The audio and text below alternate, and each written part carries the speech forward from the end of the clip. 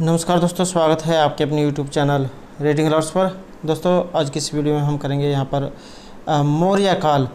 समय रहेगा इनका 322 ईस्वी पूर्व से 185 ईस्वी पूर्व तक। और एग्ज़ाम की दृष्टि से जो है, सभी क्वेश्चन महत्वपूर्ण हैं क्योंकि कोई भी कम्पिटिटिव एग्ज़ाम उसमें जो है, यहाँ पर, यहाँ से क्वेश्चन ज़रूर पूछ जाते हैं। तो इसलिए एग्ज़ाम की दृष्टि से जितने भी क्वेश्चन सभी महत्वपूर्ण रहेंगे और इस वीडियो में हम जो है यहाँ पर नब्बे प्लस जो है क्वेश्चनों को करेंगे। और अगर आपने हमारी पहले वाली वीडियो नहीं देखा तो इसे आप ऊपर कोने में जो थ्री डॉट है, इन पर क्लिक करके आप आई बटन पर पहुँच जाओगे तो वहाँ पर जाकर आप हमारी इससे पहले वाली वीडियो देख सकते हैं। या जो हमारे चैनल की प्लेलिस्ट है, वहाँ पर जाकर आप तक की जितनी भी वीडियो सभी को आप देख सकते हैं। और अगर आपने अब तक हमारे चैनल को सब्सक्राइब नहीं किया तो सब्सक्राइब कर ले और साथ में जो घंटे वाला कौन है, उसे जोड़ दें जिससे जो आपको हमारे आने वाली जो वीडियो है, उसकी नोटिफिकेशन मिलती रहेगी। और दोस्तों, वीडियो को लाइक कमेंट और शेयर ज़रूर कीजिएगा और हमारे साथ अंत तक बने रहिएगा। तो हमारा यहाँ पर जो फ़र्स्ट क्वेश्चन है, चाणक्य चाणक्य को अन्य किस नाम से जाना जाता था? तो इसमें जो सी आंसर है, रहेगा ऑप्शन बी विष्णुगुप्त के नाम से जाए यहाँ पर चाणक्य, जिसे कौटिल्य भी कह देते हैं कि के नाम से जाना जाता था। एग्ज़ाम में यहाँ पर चाणक्य, कौटिल्य भी आ सकता है तो विष्णुगुप्त जैन का नाम था। नेक्स्ट आएगा, निम्न अंकित में से किसकी तुलना मेकैयावाली के प्रिंस से की जाती है? तो ये इनमें से कौन है? तो इसमें जो सी आंसर है, रहेगा ऑप्शन बी, कौटिल्य का अर्थशास्त्र। और यहाँ पर जो इसमें से तीन क्वेश्चन और निकल के आ जाते हैं, चार। कि एक तो कौटिल्य के द्वारा लिखा हुआ ग्रंथ कौन सा है? अर्थशास्त्र। तिरुवल्लुवर का त्रिकुल। कालिदास का मालविका का मालविका अग्निमित्र और वात्स्यन का कामसूत्र। तो एक तो जो ये भी आपने याद रखने हैं। नेक्स्ट है, वह शासन कौन सा था जिसने राज सिंहासन पर बैठने के लिए अपने बड़े भाई सुसीम की हत्या की थी? तो यह शासक इनमें से कौन था? तो ये थे ऑप्शन ए अशोक। और ये जो क्वेश्चन है, पहले भी जो, बहुत बार एग्जामों में पूछे गए हैं। तो नेक्स्ट क्वेश्चन आएगा सम्राट अशोक की वह पत्नी कौन थी जिसने उसको प्रभावित किया था? तो ये इनमें से कौन थी? तो ये थी ऑप्शन डी यहाँ पर, कारू वाकी। नेक्स्ट आएगा, अशोक ने अपने सभी अभिलेखों में एक रूपता से किस प्राकृत का प्रयोग किया है? तो कौन सी जो है यहाँ पर प्राकृत भाषा का प्रयोग किया गया है? यह रहेगा ऑप्शन ए अर्धमागधी प्राकृत का जो आपने अभिलेखों में प्रयोग किया है। नेक्स्ट आएगा बिंदुसार ने विद्रोहियों को कुचलने के लिए अशोक को कहाँ पर भेजा था? तो ये थे ऑप्शन बी यहाँ पर तक्षशिला में नेक्स्ट आएगा निम्नलिखित में वह व्यक्ति कौन है जिसका नाम देवान पियादर्शी भी था? तो ये इनमें से कौन है जिसे देवान पियादर्शी के नाम से भी जाना जाता था? तो ये थे ऑप्शन ए यहाँ पर। सम्राट जो अशोक है इनको यहाँ पर देवान पियादर्शी के नाम से भी जाना जाता था। नेक्स्ट आएगा प्राचीनतम राजवंश कौन सा है? सबसे पुराना जो राजवंश है, ये कौन सा है? तो ये जो मौर्य जो वंश है, इसको यहाँ पर सबसे प्राचीन माना गया है। और मौर्य वंश से जो है, प्रत्येक एग्ज़ाम में एक नए क्वेश्चन ज़रूर पूछा जाता है। तो महत्वपूर्ण जो क्वेश्चन है। नेक्स्ट आएगा कौटिल्य या जो चाणक्य। है तो इन्हें कौटिल्य भी कहा जाता है और चाणक्य भी, विष्णुगुप्त भी। तो ये किसके प्रधानमंत्री थे? तो ये थे ऑप्शन बी यहाँ पर चंद्रगुप्त मौर्य की। और बहुत बार जाइए भी आर आर आर बी के एग्ज़ाम में भी C C U P S C और ग्राम सचिव एच एस सी तो लगभग जहाँ सभी एग्ज़ामों में क्वेश्चन पूछे गए हैं।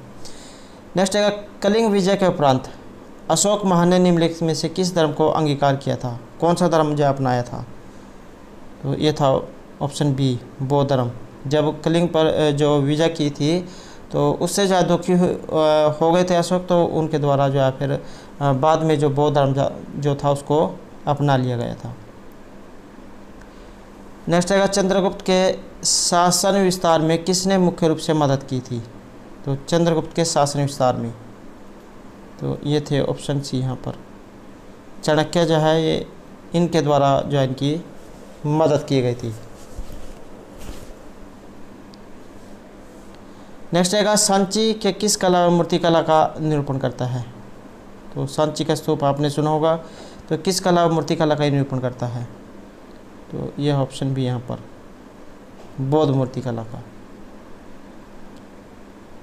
अगला क्वेश्चन है, प्राचीन भारत का वह प्रसिद्ध शासक जिसने अपने जीवन के अंतिम दिनों में जैन धर्म को अपनाया था? तो अंतिम दिन में जैन धर्म इनमें से किन के द्वारा अपनाया गया था? तो ये थे ऑप्शन ए यहाँ पर चंद्रगुप्त मौर्य और जो अशोक है उनके द्वारा बौद्ध धर्म और जो जैन धर्म है ये चंद्रगुप्त मौर्य के द्वारा अपनाया गया था। नेक्स्ट आएगा, मौर्य साम्राज्य की स्थापना किसने की थी? तो ये थे ऑप्शन बी यहाँ पर चंद्रगुप्त मौर्य ने। नेक्स्ट है मौर्य साम्राज्य में प्रचलित मुद्रा का नाम। तो ये जो मौर्य जो शासन था इसमें उस समय मुद्रा कौन सी थी? तो इसमें थी ऑप्शन ए पर्ण है वहाँ पर मुद्रा होती थी। नेक्स्ट है निम्न अंकित में से कौन मौर्य वंश का शासक नहीं था? तो यहाँ पर एक का जो है मौर्य से संबंध नहीं है। तो ये है ऑप्शन ए अजात शत्रु। और जो जैसे चंद्रगुप्त मौर्य, अशोक, बिंदुसार, ये सभी मौर्य वंश के हैं। एग्ज़ाम में बहुत बार ये भी क्वेश्चन पूछा गया है कि मौर्य वंश के इनमें से कौन से हैं? तो इस तरह से भी एग्ज़ाम में आए हैं तो आपने याद रखना है कि चंद्रगुप्त मौर्य, अशोक बिंदुसार इनका संबंध मौर्य वंश से हैं। नेक्स्ट अगर निम्नलिखित में से अशोक का उत्तराधिकारी कौन था? तो अशोक का, अशोक के बाद जो उनके जो राजगद्दी जो थी किसके द्वारा संभाली गई थी? तो ये था ऑप्शन ए यहाँ पर, कुणाल के द्वारा। अगला क्वेश्चन है मुद्रा राक्षस। का लेखक इनमें से कौन है? तो यह ऑप्शन बी विशाखा दत्त के द्वारा रचित जो नाटक है, ये मुद्रा राक्षस है और इसी में जो है, ये मुद्रा राक्षस जो है, चंद्रगुप्त मौर्य और जो जो यहाँ पर अशोक जो है सॉरी है जो, एक तो जो चंद्रगुप्त मौर्य है और चाणक्य इनके जो कूटनीति जो है, इस पर आधारित ये नाटक है। नेक्स्ट आएगा विशाखा दत्त के प्राचीन भारतीय नाटक, मुद्रा राक्षस की विषय वस्तु क्या है? तो ये रहेगा ऑप्शन डी चंद्रगुप्त मौर्य के समय में राज दरबार की दुर्भी संधियों के बारे में। अगला क्वेश्चन है, मालवा, गुजरात और महाराष्ट्र किस शासक ने पहली बार जीते थे? तो मालवा, गुजरात और महाराष्ट्र के प्रदेश। तो ये थे ऑप्शन डी यहाँ पर, चंद्रगुप्त मौर्य के द्वारा। नेक्स्ट है, किसने सहिष्णुता उदारता और करुणा के त्रिविध आधार पर राजवंश की स्थापना की थी। तो ये थे ऑप्शन ए यहाँ पर, अशोक के द्वारा। नेक्स्ट आएगा, निम्नलिखित, किस शहर में अशोक के शिलालेख नहीं हैं? तो यहाँ पर एक जगह अशोक के शिलालेख नहीं है तो ये कौन सा है? ये रहेगा ऑप्शन सी यहाँ पर पाटलिपुत्र। और एस्टेट के एग्ज़ाम में और जो ये जो ग्राम सचिव का जो एग्ज़ाम था पिछला, उसमें जो है क्वेश्चन आया हुआ था। तो टोपरा में जो है यहाँ अशोक का जो स्तंभ है, ये वहाँ से मिला था। तो नेक्स्ट क्वेश्चन है अर्थशास्त्र। अर्थशास्त्र का लेखक यह समकालीन था। तो ये था ऑप्शन बी यहाँ पर चंद्रगुप्त मौर्य। तो अर्थशास्त्र का लेखक जो है यहाँ पर ये चंद्रगुप्त मौर्य हैं। नेक्स्ट आएगा नंद वंश के बाद मुगध पर किस राजवंश ने शासन किया था? तो जो नंद वंश था, इसके बाद जो मगध जो साम्राज्य था, इस पर किस राजवंश ने शासन किया था? तो ये था ऑप्शन ए यहाँ पर, मौर्य वंश ने। नेक्स्ट आएगा मौर्य काल में शिक्षा का सबसे अधिक प्रसिद्ध केंद्र कौन सा था?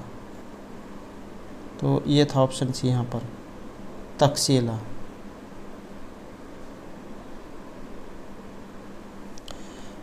तो क्वेश्चन है मैगस्थनीज की पुस्तक का नाम। ये भी जो क्वेश्चन बहुत बार एग्ज़ाम में पूछ जाता है कि मैगस्थनीज द्वारा लिखित जो पुस्तक है, ये कौन सी है? तो इनकी थी ऑप्शन डी यहाँ पर इंडिका और सबसे प्राचीनतम वेद ऋग्वेद। नेक्स्ट अगर जिसके ग्रंथ में चंद्रगुप्त मौर्य का विशिष्ट रूप से वर्णन हुआ है तो वह कौन सा है?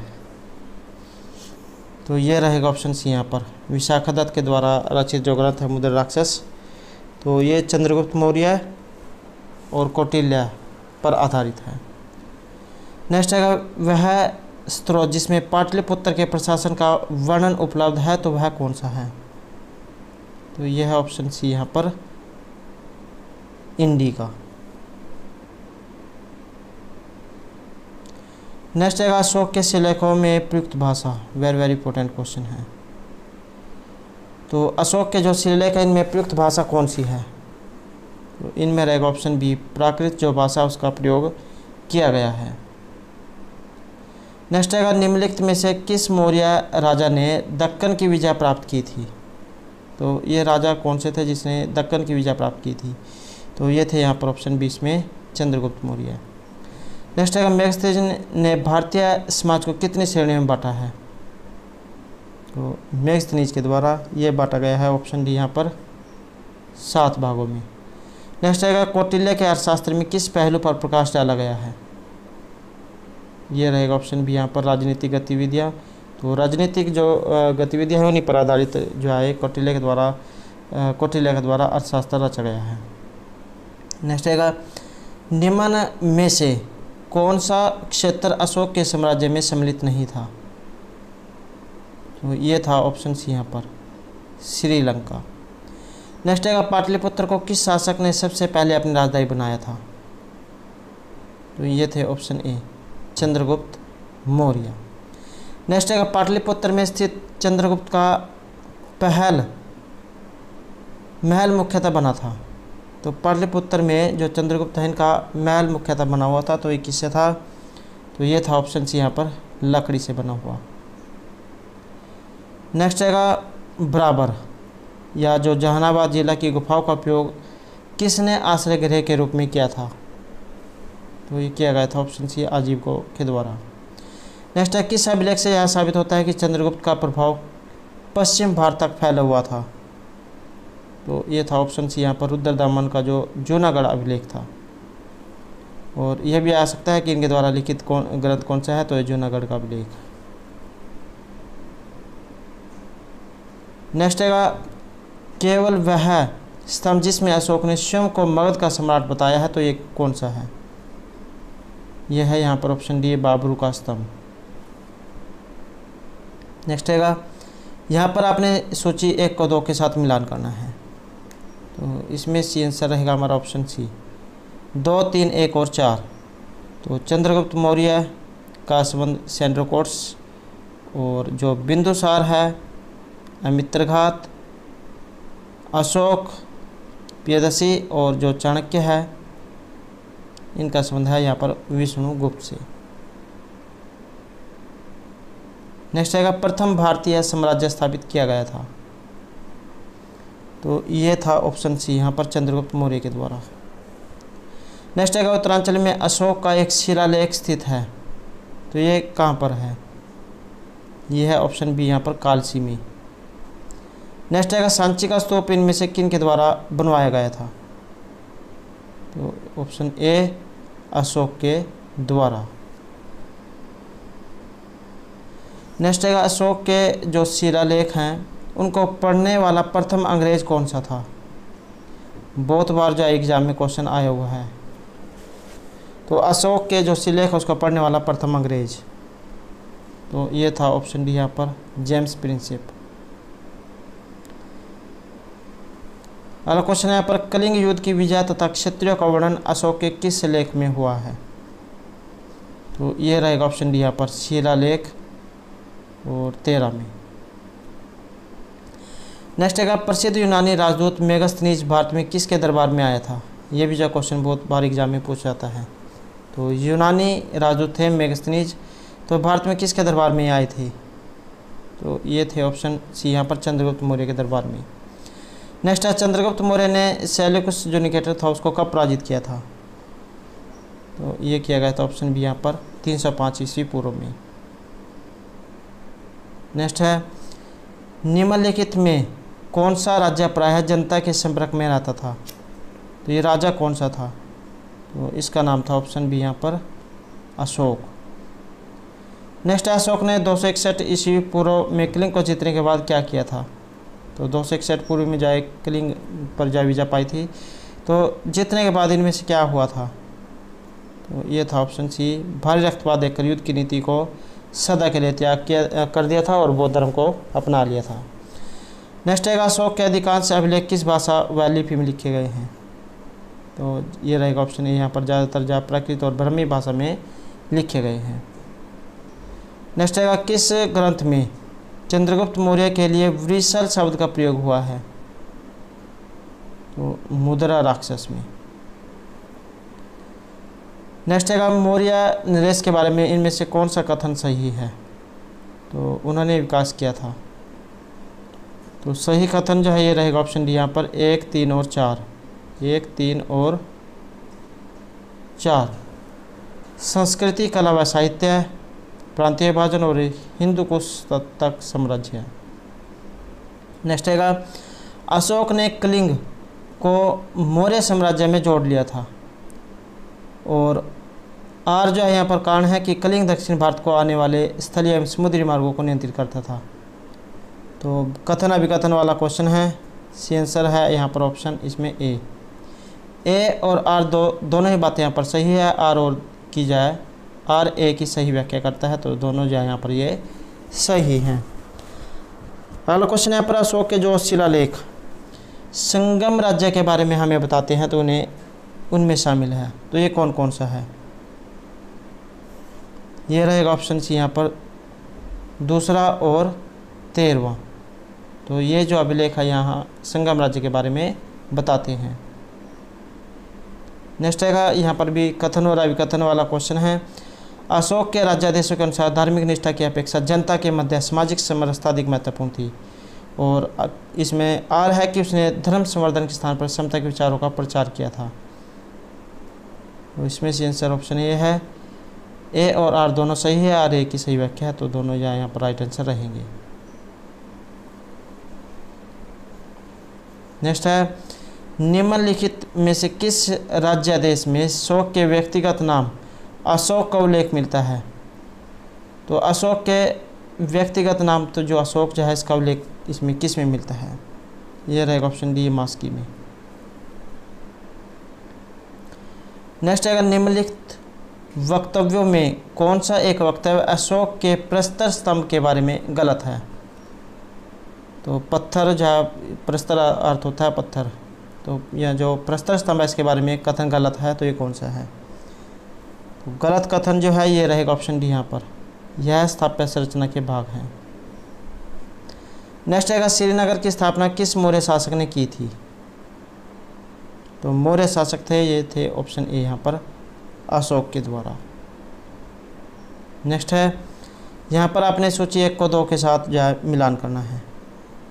तो इसमें से आंसर है हमारा ऑप्शन ए एक, दो, तीन और चार। उत्तरापथ, तक्षशिला, दक्षिणापथ, सुवर्णगिरी अवंती राष्ट्र इसे उज्जैनी कहा जाता है और जो प्राची, जो पूर्व, पूर्वी प्रदेश है इसे पाटलिपुत्र।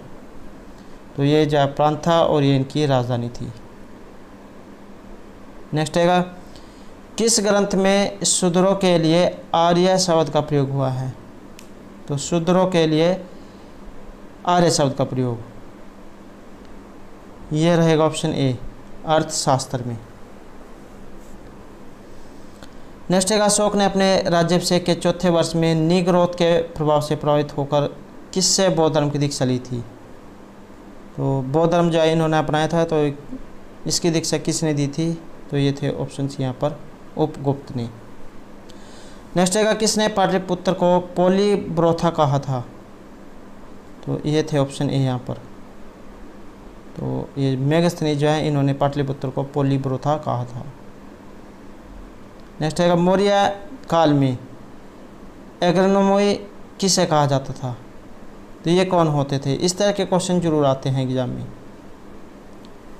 तो ये था ऑप्शन बी सड़क का निर्माण करने वाला जो अधिकारी था, उसे एग्रोनोमोई कहा जाता था। नेक्स्ट है मौर्य काल में गुप्तचरों को क्या कहा जाता था? तो मौर्य काल में और गुप्तचरों को। तो उन्हें गुड़ पुरुष कहा जाता था। नेक्स्ट है, किस श्रीलंका शासक अपने अपने आप को मौर्य सम्राट अशोक के आदेशों के अनुरूप डालने की कोशिश की थी? तो ये था ऑप्शन सी यहाँ पर, तीसरी। नेक्स्ट है, किस जैन धर्म, जैन ग्रंथ में चंद्रगुप्त मौर्य के जैन धर्म अपनाने का उल्लेख है? तो जैन ग्रंथ में चंद्रगुप्त मौर्य ने जैन धर्म अपनाने का उल्लेख जब मिलता है तो ये कौन, कहाँ पर है? ये रहेगा ऑप्शन भी यहाँ पर। परिशिष्ट पर्वण में। ये जैन ग्रंथ है, इसमें चंद्रगुप्त मौर्य के जैन धर्म अपनाने का उल्लेख है। नेक्स्ट आएगा किस महीने से मौर्य का राज्य कोशीय वर्ष आरंभ होता है। तो राजकोषीय वर्ष, जैसे जो भारत का जो फाइनेंशियल ईयर जो है, ये अप्रैल से शुरू होता है। तो इस तरह से जो मौर्य जो थे, इनका जो वित्तीय जो वर्ष था, राजकोषीय वर्ष, ये कब से आरंभ होता था? तो ये था ऑप्शन भी यहाँ पर। आषाढ़ अर्थार्थ जुलाई से। जैसे भारत में अप्रैल से शुरू होता है तो इनका आषाढ़ और जुलाई से शुरू होता था। नेक्स्ट आएगा निम्नलिखित में किन किन दक्षिण भारतीय जातियों का उल्लेख अशोक के शिलेख में किया गया है? तो ये रहेगा ऑप्शन यहाँ पर। एक, तीन, चार और पाँच में। चोल पांड्या सत्यपुत्र और केरल पुत्र नेक्स्ट है अशोक के बारे में जानने के लिए सबसे महत्वपूर्ण स्रोत कौन सा है? अगर आपको अशोक के बारे में जानना है तो यह है ऑप्शन बी यहाँ पर, इनके शिलालेख। नेक्स्ट है अशोक के काल में कौन सी लिपि दक्षिण भारत में परिवर्तित हुई थी? तो अशोक काल में कौन सी लिपि दक्षिण भारत में परिवर्तित हुई थी? तो ये थी ऑप्शन ए यहाँ पर ब्रह्मी लिपि नेक्स्ट है अशोक का जो अभिलेख है, ये भारतीय उपमहाद्वीप के बारे, के बाहर भी पाया गया है। तो अशोक के जो अभिलेख हैं, ये भारत से बाहर भी मिले हैं तो इनमें से किस देश में ये पाए गए हैं? तो ये है ऑप्शन ए, अफ़गानिस्तान में। नेक्स्ट है अत्यंत पॉलिश किए गए एक कासम अशोक स्तंभ, जिस पांडुरंजित बालुकासम के एकल टुकड़ों में तक्षित किए गए। उसे साधारणतः कहाँ की खादानों में, खादानों से निकाला गया था? तो ये थे ऑप्शन ए, मिर्ज़ापुर के समीप जाए चुनारसी। नेक्स्ट है भारतीय लिखने की कला नहीं जानते थे तो यह किसकी उक्ति है? तो यह कथन है, ये रहेगा ऑप्शन डी यहाँ पर मेघस्थनीज का। नेक्स्ट है किस मौर्य सम्राट ने एक विदेशी राजा सीरिया के एंटीओक्स एक से अंजीर, शराब और दार्शनिक को भारत भेजने का आग्रह किया था। तो ये था ऑप्शन बी यहाँ पर। बिंदुसार और ये जा एक मौर्य था। नेक्स्ट है अशोक द्वारा। कलिंग पर चढ़ाई की जानकारी के लिए कौन सबसे महत्वपूर्ण स्रोत है? तो अशोक के द्वारा कलिंग पर जो चढ़ाई की की गई थी, युद्ध जो हुआ था, विजय प्राप्त की गई थी तो इसके लिए सबसे महत्वपूर्ण स्रोत कौन सा है? यह रहेगा ऑप्शन सी यहाँ पर तेरहवा बृहद शिलालेख नेक्स्ट रहेगा बिंदुसार की मृत्यु के समय अशोक किस प्रांत का गवर्नर था? वेरी वेरी इंपॉर्टेंट क्वेश्चन है। जब बिंदुसार की मृत्यु हुई तो उस समय अशोक किस प्रांत के गवर्नर थे? तो ये थे ऑप्शन ए यहाँ पर उज्जैन के। नेक्स्ट रहेगा किस शिलालेख में अशोक ने घोषणा की है कि वह सारी प्रजा मेरी संतान है? तो ये शिलालेख कौन सा है? इसका नाम है ऑप्शन ए, यहाँ पर पृथक लिंग शिलालेख नेक्स्ट है, कौन सी घोषणा युद्ध और अहिंसा के प्रति अशोक और आंतरिक दुख को स्पष्ट करती है? ये रहेगा ऑप्शन डी, यहाँ पर। कलिंग का पृथक शिलालेख नेक्स्ट है, किस शिलालेख में अशोक की यह घोषणा अंकित है कि किसी भी समय, चाहे मैं खाता रहूँ या रानी के साथ विश्राम करता रहूँ या मैं अपने अंतशाले में रहूँ, मैं जहाँ भी रहूँ, मेरे महामाते मुझे सार्वजनिक कार्य के लिए संपर्क कर सकते हैं। तो 24 घंटे सर्विस जो है आप इसे कह सकते हैं। तो यह रहेगा यहाँ पर ऑप्शन डी, छठे शिलेख में। नेक्स्ट है, निम्नलिखित में कौन अवरोही क्रम में मौर्य प्रशासन के अधिकारियों का नाम बताता है? तो एक होता है आरोही और दूसरा होता है अवरोही। आरोही होता है चढ़ता हुआ क्रम और अवरोही उतरता हुआ, जैसे उल्टी गिनती होती है। तो इसमें जो हमारा सी आंसर है, रहेगा ऑप्शन ए प्रादेशिक राज, राजुक और उसके बाद युक्त। नेक्स्ट है, विशिष्ट है। तो विशिष्ट किसे कहा जाता है? तो ये रहेगा ऑप्शन भी यहाँ पर बेगारी को। विष्टि जो यहाँ पर बेगारी को कहा जाता है। नेक्स्ट है मौर्य काल में सीता से तात्पर्य। मौर्य काल में जो सीता जो नाम है, ये किसके लिए प्रयुक्त होता था? तो यह था ऑप्शन सी यहाँ पर। राजकीय भूमि से प्राप्त जो आय जो होती थी आमदनी, उसके लिए सीता का प्रयोग होता था। नेक्स्ट है मौर्य काल का सबसे अच्छा नमूना कौन सा है? यह ऑप्शन ए यहाँ पर जो स्तंभ जो लिखे गए हैं, स्तंभ जो तो ये जो है यहाँ पर सबसे अच्छे नमूने हैं। नेक्स्ट है कहाँ से प्राप्त अभिलेखों से? मौर्य काल में अकाल सूखा जैसे देवी प्रकोप के समय राज्य द्वारा राहत कार्य किए जाने का विवरण मिलता है। तो ये जो विवरण है, ये मिलता है हमें ऑप्शन ए यहाँ पर। महास्थान बांग्लादेश, सहगोरा, उत्तर प्रदेश से। नेक्स्ट है, अशोक ने श्रीलंका में बौद्ध धर्म का प्रचार करने हेतु इनमें से किसे भेजा था? तो अशोक ने श्रीलंका में भेजा था और बौद्ध धर्म के प्रचार के लिए। तो ये था ऑप्शन सी यहाँ पर। महेंद्र और संगमित्रा तो अपने जो जो लड़का और लड़की जो थे, उनको जो है धर्म प्रचार के लिए इन्होंने भेजा था। नेक्स्ट है अशोक के मनसहेरा जो पाकिस्तान में है एवं शाहजाबगढ़ ये भी पाकिस्तान में है। से प्राप्त बृहद शिलालेखों में किस लिपि का प्रयोग किया गया है? तो ये जो है, ये रहेगा ऑप्शन है यहाँ पर क्रोस्ट लिपि। नेक्स्ट है कहाँ से अशोक के द्विभाषी ग्रीक और अरामयिक अभिलेख हमें प्राप्त हुए हैं। तो ये रहेगा ऑप्शन ए यहाँ पर, सरेकुना कंधार से नेक्स्ट है, कौटिल्य के द्वारा जो लिखित ग्रंथ अर्थशास्त्र, कितने अधिकरणों में बटा हुआ है? यह रहेगा ऑप्शन यहाँ पर, पंद्रह अधिकरणों में। नेक्स्ट है, अर्थशास्त्र में उल्लिखित सप्तांग में शामिल थे। तो सप्तांग में इनमें से कौन कौन से थे? ये रहेंगे ऑप्शन ए राजा क्षेत्र, प्रशासन और कोष।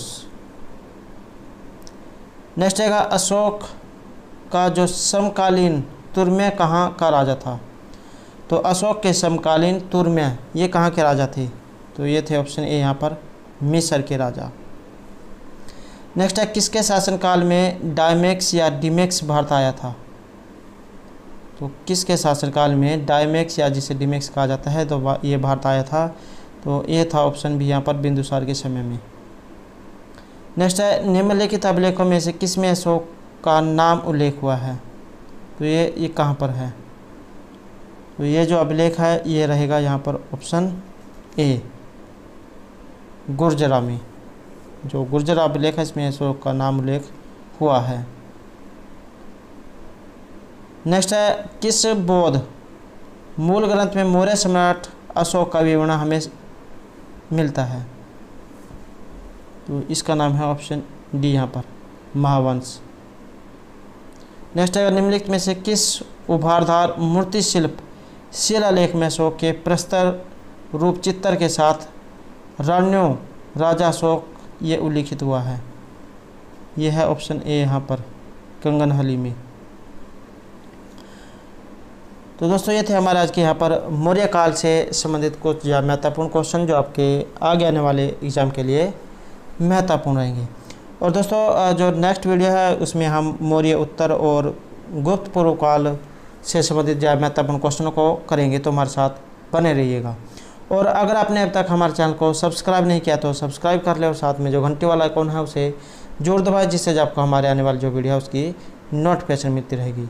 और दोस्तों वीडियो को लाइक, कमेंट और शेयर ज़रूर कीजिएगा और हमारे साथ अंत तक बनाने के लिए धन्यवाद।